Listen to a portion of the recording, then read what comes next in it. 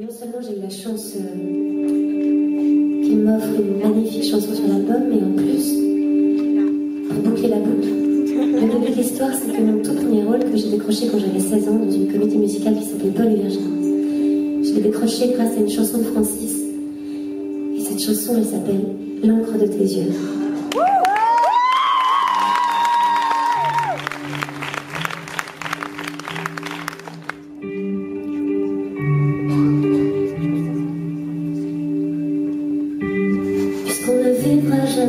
Tous les deux,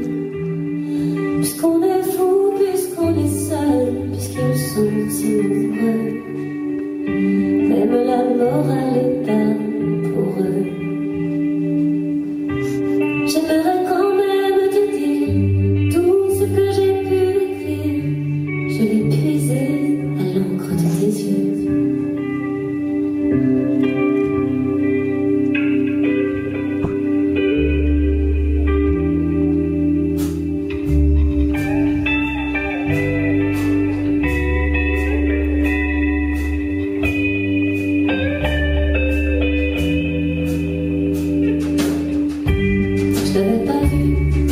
我跟你谁